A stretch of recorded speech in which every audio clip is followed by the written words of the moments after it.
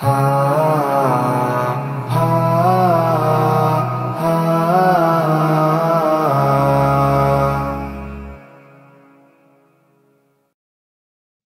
ini disponsori oleh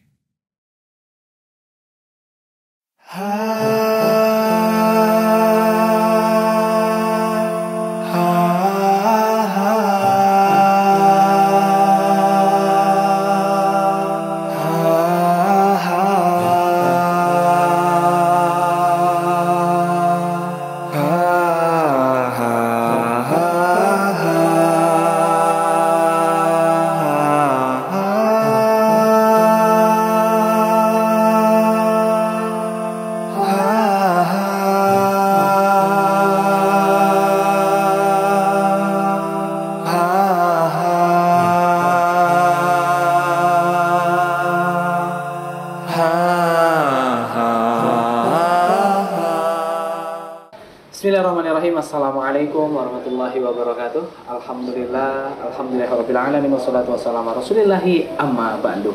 Pemirsa yang dirahmati Allah subhanahu wa ta'ala Kita kembali lagi di kesempatan kali ini di Muslim Inspirasi.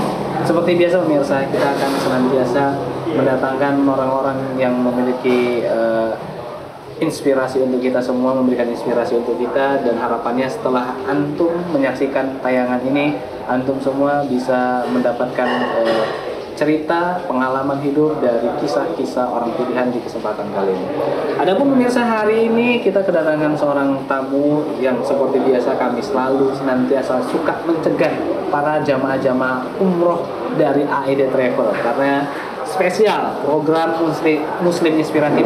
Ya bersama ID Travel ini kita akan senantiasa menceritakan perjuangan orang-orang ya bagaimana sampai ke dalam keberangkatannya menuju ke tanah suci. Dan hari ini ada seorang ustadz ya yang sebagai pendidik murid-murid dan memiliki kisah yang luar biasa dan hari ini beliau akan berangkat menuju ke tanah suci atau tepatnya besok beliau akan berangkat ke tanah suci tapi sebelum berangkat beliau akan ngobrol bercerita bareng kita di kesempatan kali ini ada Ustadz ya Ilham Siregar, Ilham Dani Siregar. Ilham Dani Siregar. Ilham Dani Siregar. Ya. Kalau gelarnya Sat, boleh disebutin Sat?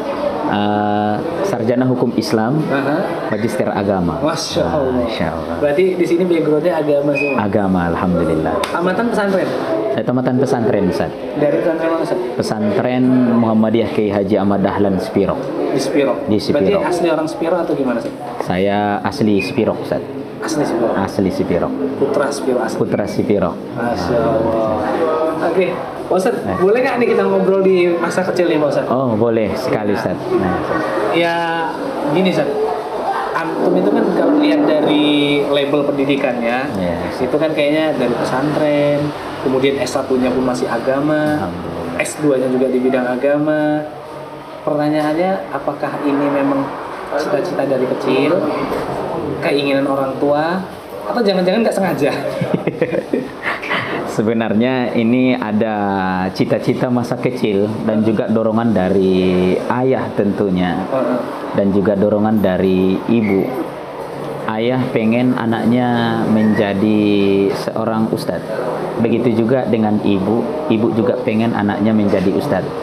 Karena dulu ayah ini pengen sekali dia menjadi seorang ustadz tapi karena biaya tidak ada untuk melanjutkan di sekolah pesantren sehingga tidak jadi cita-citanya sehingga dia berniat bagaimana caranya anakku harus menjadi seorang ustadz dan pada saat itu memang ketika kecil saya selalu bilang sama ayah ketika uh, jalan-jalan uh, bersama ayah selalu saya bilang ayah saya mau sekolah agama. Saya nggak mau sekolah kalau tidak sekolah agama. Itu dari kecil kan? itu dari kecil.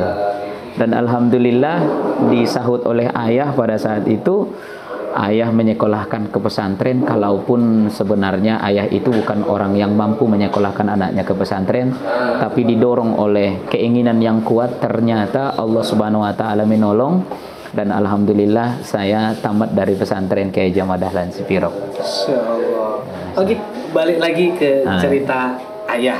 Ya. Artinya ayah dulu eh, memiliki keinginan punya anak yang jadi ustadz untuk melanjutkan cita-citanya. Yeah. Pertanyaannya emang anak dari ayah ustadz itu ada berapa sih?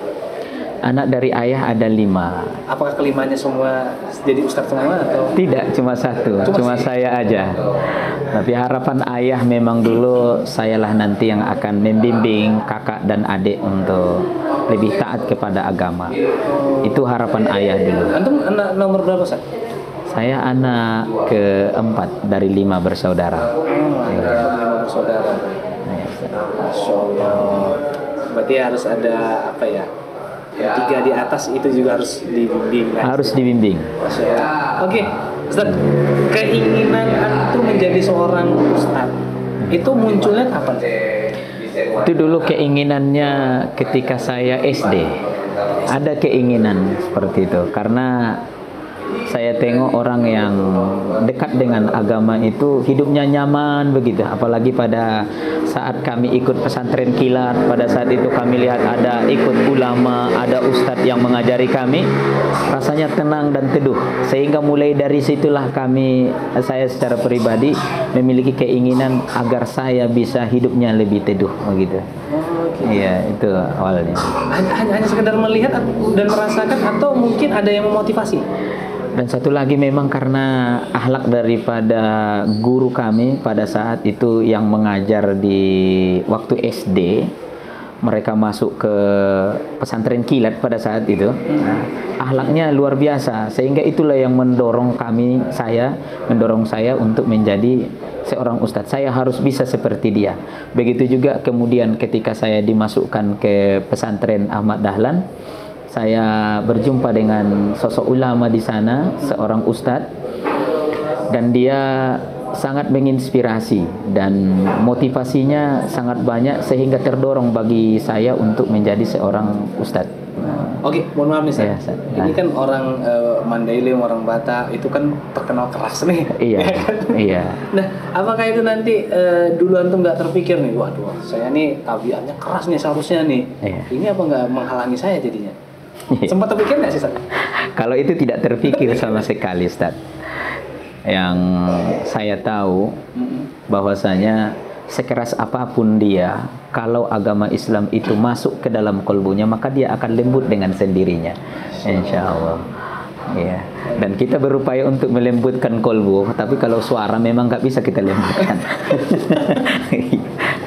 Oke, balik lagi Ustaz. Ke Iya, masa Ustaz. kecil lagi nih Ustaz. Iya, Ustaz. Akhirnya antum memiliki keinginan untuk menjadi seorang eh, ustaz. Ustaz, iya. Begitu juga dengan dorongan dari orang tua. Pertanyaannya, orang tua dulu profesinya sebagai apa sih? Ayah dulu profesinya sebagai kalau di kampung namanya paragat. Apa itu? Paragat itu ngambil air enau, aren. Keren. Iya. Oh, Jadi aren. itu kerja ayah dulu sambil bertani. Itu kan eh, mohon maafnya nggak belum tentu menjanjikan loh. Iya, pendapatannya pada saat itu sangat kecil.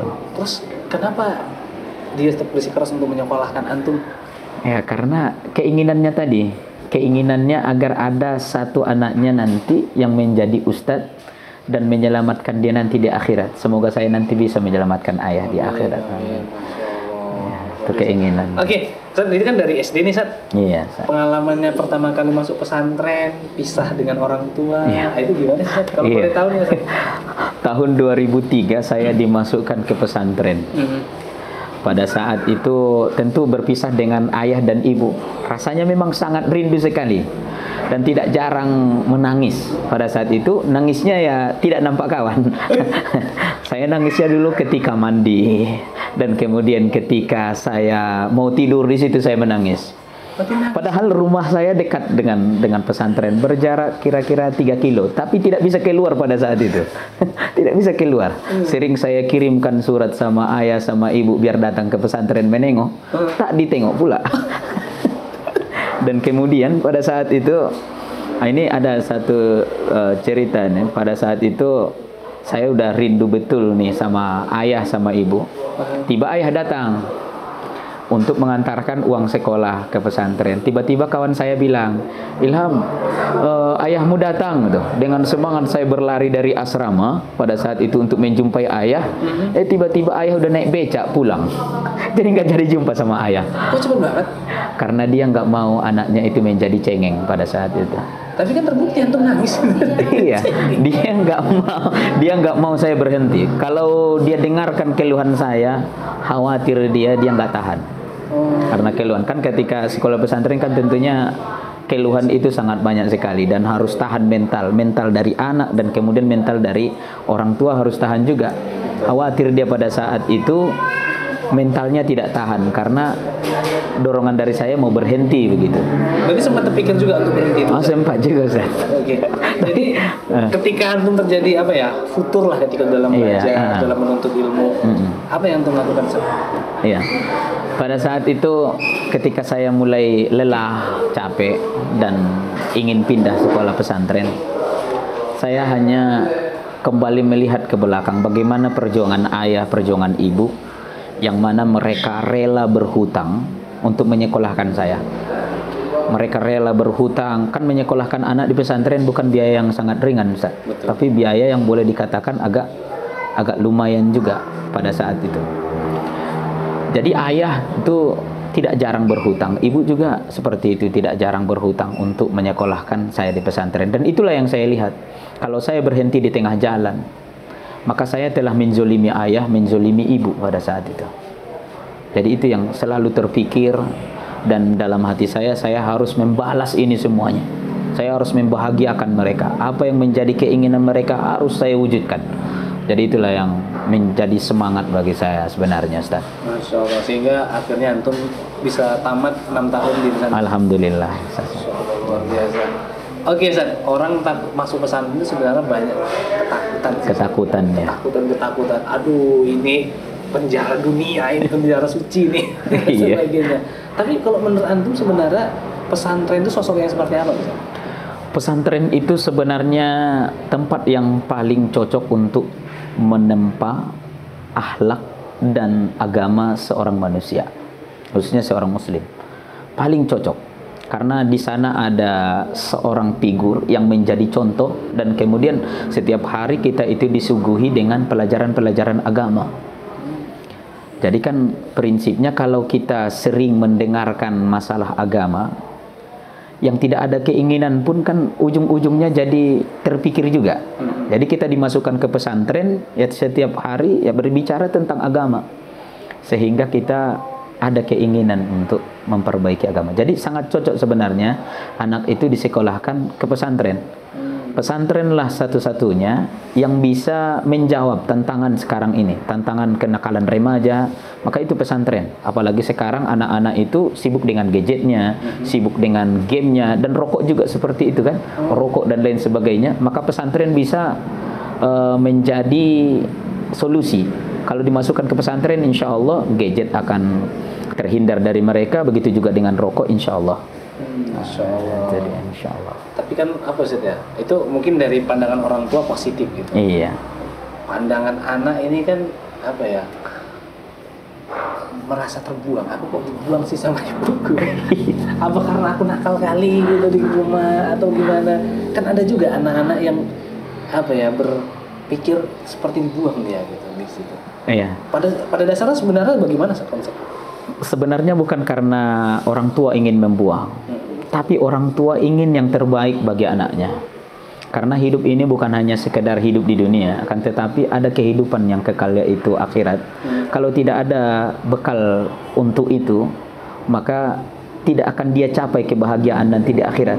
Maka orang tua pandangannya adalah bagaimana caranya anakku ini nanti bisa selamat, bisa bahagia dunia dan akhirat dan dia nanti bisa menyelamatkan kami begitu. Itu pada dasarnya keinginan daripada orang tua. Masya Allah. Oke Pak Ustadz. Eh, setelah ini kita akan ngobrol kembali Pak Ustadz. Ya. Iya. Kalau boleh tahu, antum hari ini atau besok berangkat ke Tanah Suci itu keberangkatan yang keberapa kali Ustadz? Alhamdulillah ini untuk keberangkatan yang ketiga. Tahun pertama? Tahun pertama itu tahun 2022, Wah, Yang kedua? tahun 2023 bulan Maret Dan ini yang ketiga? dan ini yang ketiga bulan 10. Masya Allah. Berarti Alhamdulillah. satu tahun Satu tahun ada dua kali ada berangkat. dua kali alhamdulillah. Oke, artinya ini kan eh, bukan sekedar perjalanan biasa. Iya. Ada apa ya istilahnya ya? Kerinduan yang ingin terus kembali ke tanah Ke tanah suci. suci. Insya Allah nanti setelah ini kita akan ngobrol bagaimana pengalamannya saat keberangkatan yang pertama, kedua, dan harapan yang ketiga. Iya. Tapi kita tahan dulu, kita harus rehat dulu. Ustaz. Nah pemirsa di mana pun anda berada jangan ke mana-mana karena setelah yang berikut ini kami akan segera kembali lagi Masri ngobrol bareng ya Ustadz Ilham Dani Siregar Jadi jangan ke mana-mana bersama kami di Muslim Inspiratif bersama Ayu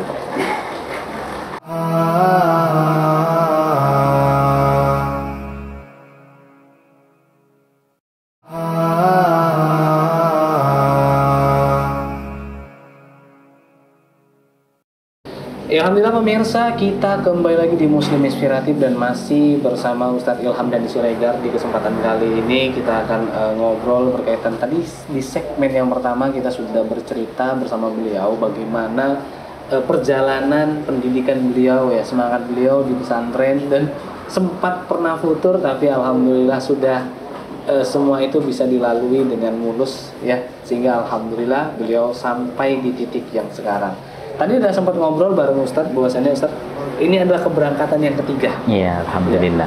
di dua tahun atau ya dua tahun sudah tiga kali berangkat. Alhamdulillah. Oke, Pak Ustadz, pertanyaan ini eh, sederhananya Ustadz. Nyari duit kan susah Ustadz. Iya. Ya. Pertanyaannya kenapa antum mau berangkat menuju tanah suci ketika itu? Kan bayar Ustadz tuh Iya. keberangkatannya. Mm. Kenapa nggak antar aja dah nunggu ada yang biayain, Biayain. misalkan gitu kan? Kadang kan ada ustadz itu yang berprinsip ntar kan ada nanti jamaah yang baik nih yang memberangkati nih gitu. Iya. Walaupun tak kapan nggak tahu. Ah. nah pertanyaannya antum kok mau mengeluarkan uang yang besar itu untuk berangkat ke tanah suci? Apakah memang antum punya apa misi tertentu atau ada alasan tertentu? Sebenarnya awalnya ini sebelum saya menikah cita-citanya adalah saya harus berangkat umroh dulu Sebelum menikah. sebelum menikah. Pada saat itu saya ikut dengan salah satu travel dan pada saat itu saya ikut gabung dan ternyata travelnya hilang. Tak jelas bagaimana. Ya, hilang. Baru kemudian ternyata saya mencoba untuk mengikhlaskan berapa biaya yang saya keluarkan kemarin. Pada saat itu saya keluarkan biaya 3,5 juta untuk DP-nya saja. Dan benar, ketika ada orang yang mem- mem- memotivasi, katanya begini, kalau kita kehilangan, anggap sebagai sedekah saja. Dan pada saat, pada saat itu saya mencoba untuk ikhlas. Saya mencoba untuk ikhlas dan alhamdulillah saya ikhlas. Dan kemudian keinginan untuk umroh itu masih tetap ada, Nggak trauma Ustaz? nggak trauma. Dan kemudian ketika saya menikah dan pada saat itu saya bercanda dengan istri. Eh. Kalau saya bercanda pada saat itu ada kotak madu. Kotak madu, madu hitam. Eh, Pada saat itu saya bilang, yang- bukan, madu bukan. bahaya itu saya. bukan. saya masukkanlah uang 5000 dan saya bilang sama istri pada saat itu, "Dek, Abang mau umroh." Maka ketika dia melihat ternyata saya memegang uang 5000 dan saya masukkan ke Celengan ke celengan, dia tertawa. Dia tertawa. Dalam hatinya mungkin tidak mungkin dengan uang 5000 bisa untuk berangkat berangkat umroh. Ya bukannya dalam Iya. hatinya logikanya nggak mungkin iya. juga. Baru kemudian pada saat itu saya bilang sama istri, Dek, kalau suami udah berdoa, maka aminkan saya bilang. Maka apa katanya? Amin, amin, amin, amin gitu. Aminnya itu tidak yakin. Iya. Baru kemudian saya sampaikan sama istri, Dek, tengoklah nanti, insya Allah abang akan umroh. Baru kemudian dua minggu sesudah itu, ternyata ada jemaah jemaah pengajian yang menelpon saya. Assalamualaikum Ustadz, Ustadz harus berangkat umroh. Ustadz harus berangkat umroh. Baru kemudian saya bilang, uangnya dari mana? Tenang aja, kakak yang biayai semua. Ah, nggak mungkin lah kak, nggak layak saya untuk melaksanakan umroh. Saya nggak mau tahu Ustadz, Ustadz harus berangkat. Dan kemudian terjadilah itu untuk umroh yang pertama, tidak disangka-sangka datang rezekinya. Ternyata Allah balas cash langsung yang kehilangan 3 juta setengah itu. Dibalas oleh Allah. Iya. Jadi itu. Oh tapi memang sebelumnya itu memang udah nggak ada apa ya berpikir bahwasanya ada yang tulis semoga aja ada jawab. Nggak ada. Nggak ada kepikiran sama sekali. Dan saya pada saat itu untuk memegang AET terapil ini saya nggak begitu yakin pada saat itu. Karena saya samakan ekonomi masyarakat dengan ekonomi saya. Gitu kan? Karena pada saat itu berbicara uang 25 sampai 30 juta Itu kan dalam bayangan kita udah besar itu pada saat itu. Karena yang biasa kita pegang itu hanya Ratusan ribu. ratusan ribu, ribu. sehingga kita samakan ah nggak mungkin lah dapat uang segitu besar tapi ternyata setelah dijalani alhamdulillah ternyata ekonomi masyarakat itu tidak sama dengan ekonomi kita dan itulah yang membuat saya itu menjadi semangat begitu Allah. Oke, Ustaz.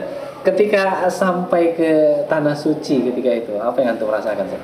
Ketika sampai di sana suci pertama sekali saya menangis saya menangis Ketika itu di mana? Madinah dulu atau di Mekah? di Madinah dulu Madinah dulu ya.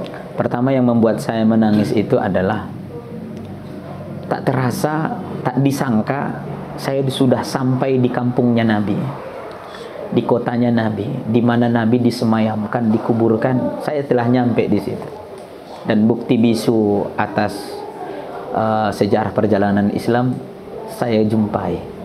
Itu yang membuat saya pertama menangis. Dan kemudian teringatlah sosok ayah almarhum karena keringatnya lah, karena capeknya lah, saya bisa menjadi seperti ini begitu. Sehingga di sana saya menangis dan kemudian berdoa semoga almarhum ditempatkan Allah di tempat yang mulia. Ya, begitu desa. Artinya memang apa ya? Yang selama ini kita baca sejarahnya hanya lewat buku yang mungkin hanya tergambar dalam benak pikiran kita. Kota Nabi itu seperti ini. Pak. Iya. Alhamdulillah sekarang. Alhamdulillah ada di hadapan mata gitu. Iya. Iya, Ustaz. Oh bisa. Awal kali antum memijakkan kaki di Masjid Nabawi. Mm-mm. Ketika itu apa yang antum pikirkan? Awal pertama sekali saya memijakkan kaki di Masjid Nabawi, yang teringat adalah perjuangan Nabi yang sangat besar. Kalau bukan karena Rasulullah Shallallahu Alaihi Wasallam, maka tidak akan ada ini yang namanya Masjid Nabawi, masjid yang sangat dicintai oleh kaum muslimin.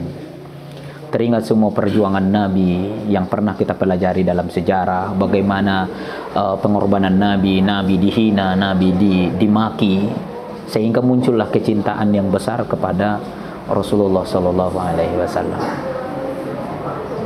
Jadi itu ketika pertama sekali memijakkan kaki di kota Madinah. Oke, Ustaz. Eh, sampai ke depan Ka'bah, Ustaz. Antum melihat dengan mata kepala antum sendiri. Antum melihat yang selama ini mungkin dari gambar, dari foto, dari video dan lain sebagainya. Dan hari ini antum bisa melihat kembali Ka'bah. Ya. Perasaan antum ketika itu apakah antum meneteskan air mata kembali atau bagaimana, Ustaz? meneteskan air mata dan perasaan haru ada di situ. Tak disangka kita berada di tempat yang sangat diidam-idamkan oleh setiap muslim di dunia.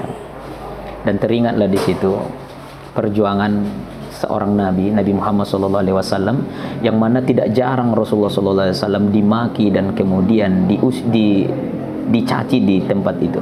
Dan kemudian pernah juga Rasulullah SAW dalam menyebarkan agama ini diletakkan ari-ari unta di kepalanya.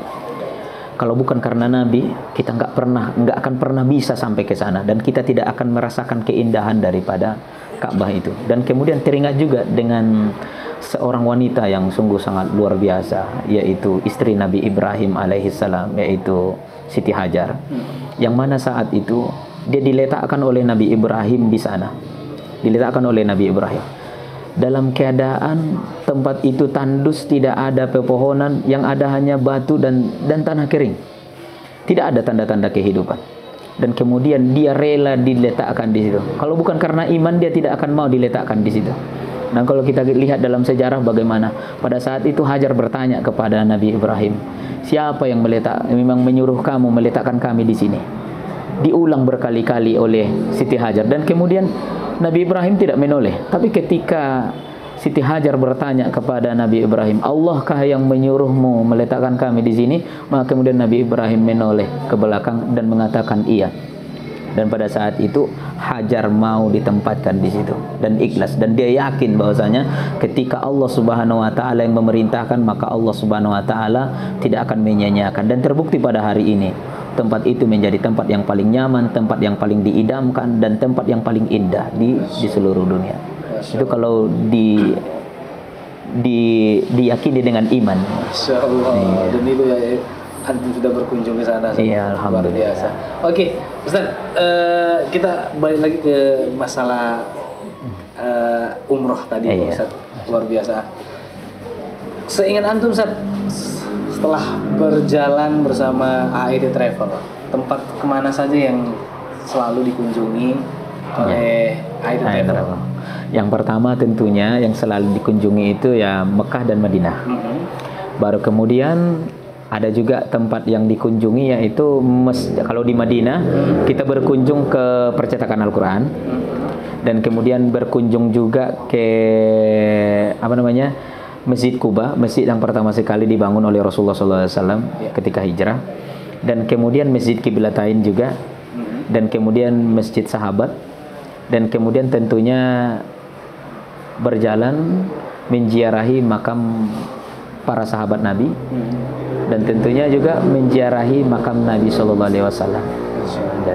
Dan kemudian kalau di Mekah kita pergi ke Jabal Rahmah dan kemudian pergi ke kaki Jabal Sur dan kemudian ditunjukkan juga tempat eh, haji tempat melaksanakan wukuf padang Arafah dan lain sebagainya. Dan kemudian ada perjalanan menuju Taib. Menuju Taib dan kemudian di sana kita akan banyak bercerita tentang kisah Rasulullah SAW yang pernah di, Lempari dilempari batu di sana. Insya Allah. Oke, Ustaz. Dari serangkaian kunjungan-kunjungan di Mekah maupun di Madinah, Ustaz. Tempat mana yang paling favorit antum selain Masjidil Haram dan Masjidil Nabawi? Ya. Tempat yang paling favorit sebenarnya yang dua itu, ya kan, Me- Mekah dan Madinah, Masjid Masjidil Haram Dan Masjid- dan Masjid Nabawi. Selain itu? Selain itu tempat yang paling favoritnya adalah Jabal Rahmah. Eh, Nah, Rahmah. ini? Soalnya kalau eh, cerita-cerita Jabal Rahmah ini kan ada Iya. kisah-kisah di balik cinta ini Iya. biasanya gitu Iya. kan. Nah, kalau antum sendiri kenapa sih tertarik di situ? Iya, terbayang kita akan dua sosok manusia yang luar biasa. Yaitu kakek kita dan nenek kita yaitu Nabi Adam dan Hawa. Mereka dipertemukan oleh Allah Subhanahu wa taala di sana disebutkan dalam berbagai kisah. Yang luar biasa adalah harapannya semoga Allah Subhanahu wa taala menguatkan kecintaan kita terhadap pasangan. Iya. Tapi nggak ditulis-tulis. Eh, tak, tak ditulis-tulis, Iya. tak ditulis-tulis karena nggak ada gunanya itu sesat. Oke, Ya, Ustaz. Pak Ustaz, kita tahan dulu Pak Ustaz. Oke, Kita insya Allah nanti setelah ini lanjut kembali. Iya. Ya. Nah, pemirsa di mana pun anda berada, insya Allah nanti setelah ini kita akan lanjut kembali ngobrol bareng Ustaz Ilham Dani. Ya, dan jangan ke mana-mana, tetap bersama kami di Muslim Inspiratif bersama IT Track. Ya,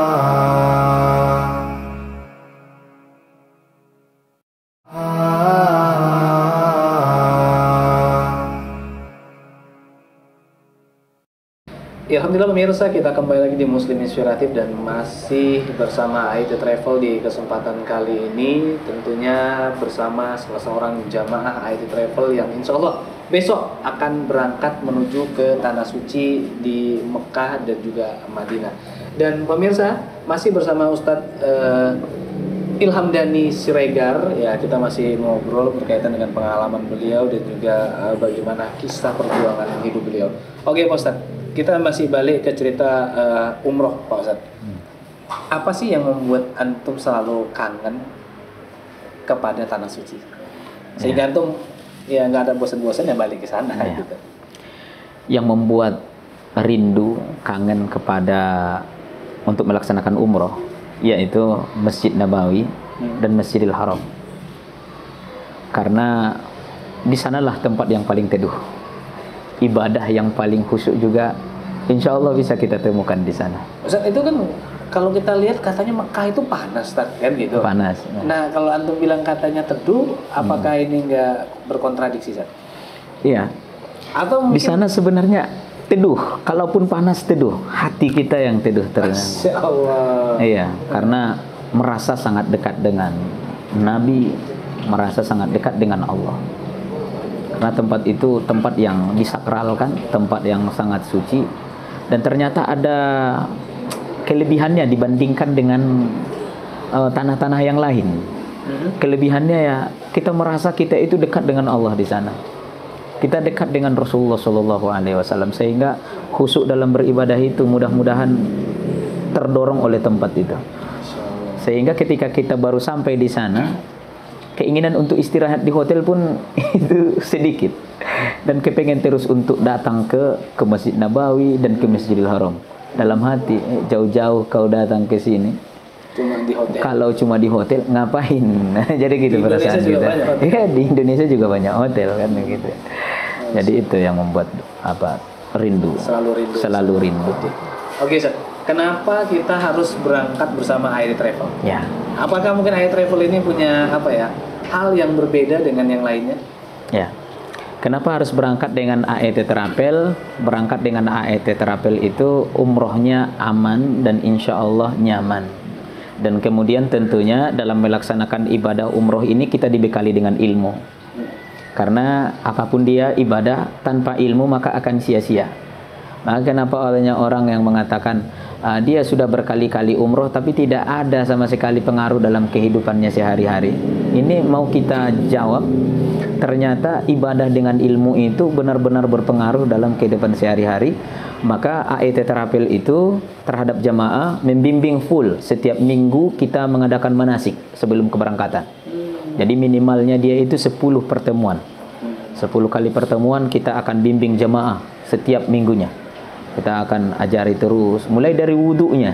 Kita sesuaikan dengan tata cara wudhu Nabi, solatnya juga demikian dan prosesi pelaksanaan pelaksanaan umrohnya pun akan kita sesuaikan dengan sunnah Rasulullah Shallallahu Alaihi Wasallam. Masya Allah, sampai segitunya sampai Iya. eh, ibadah yang paling detail, yang paling kecil yaitu wudhu. Wudhu kita ajari. Ajari itu ya. Iya. Masya Allah. Oke, Pak Ustadz, kita mau kembali lagi ke cerita masa perjuangan antum dulu Pak Ustadz ya.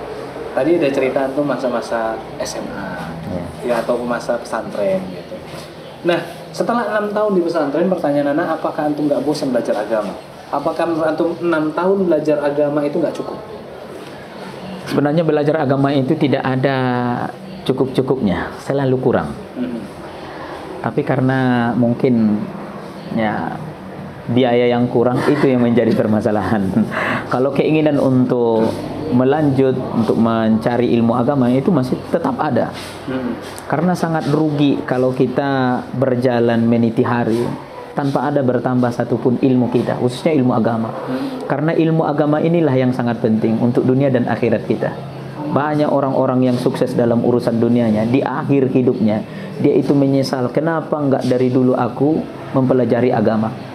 Nah, Dia lebih memilih untuk kalau bolehlah di, diputar waktu ke belakang, maka dia lebih memilih ahli dalam bidang agama daripada ahli dalam bidang keduniaan seperti sains dan teknologi itu.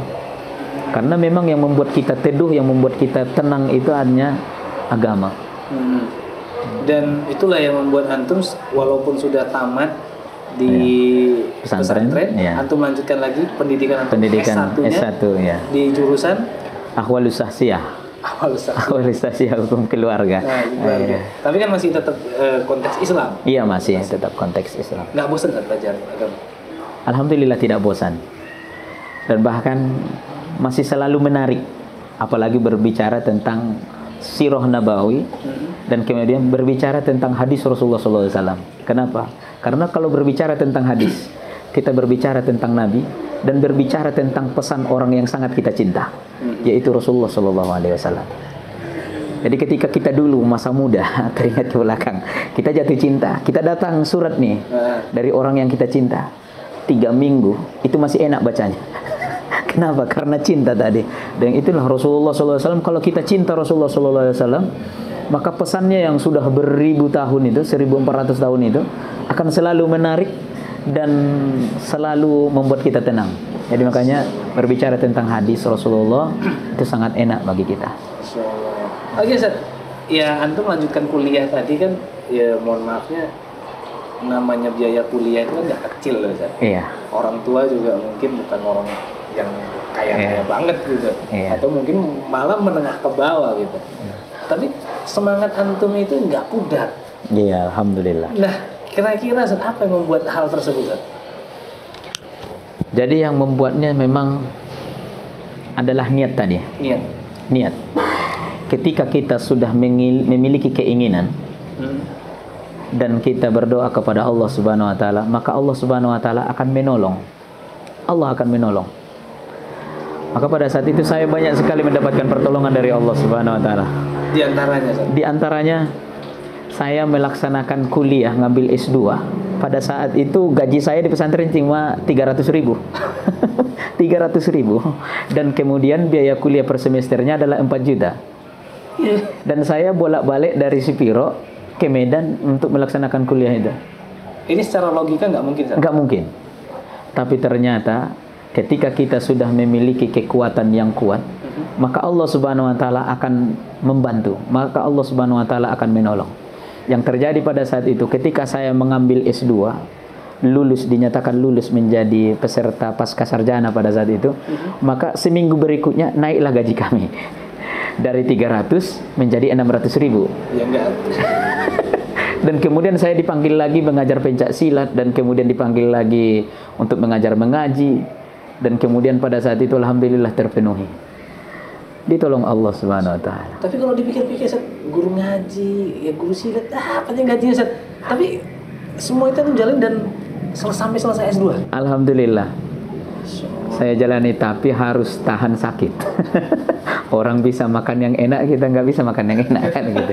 Demi ilmu itu tadi. Masya Ya, berarti harus tahan ya. Harus tahan. Dan kemudian kalau orang bisa beli sepatu baru, kita harus tahan dengan sepatu yang lama. Hmm. Kalau kawan-kawan pergi healing katanya, kalau kita Pening. udah pening gitu, kita cukup di di kamar saja belajar dan kemudian fokus untuk meniti masa depan. Allah.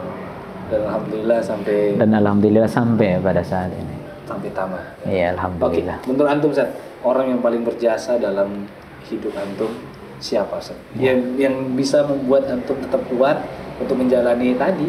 Iya. Nahan diri makan nggak enak, ya mohon maafnya gitu mungkin Ya. kawan makan ayam kita makan tempe gitu. Ya. Siapa orang yang paling eh, berjasa? Orang yang paling berjasa pertama adalah ibu. Ibu tak pernah berhenti berdoa. Dan ibu tidak pernah berhenti memotivasi. Begitu juga dengan ayah.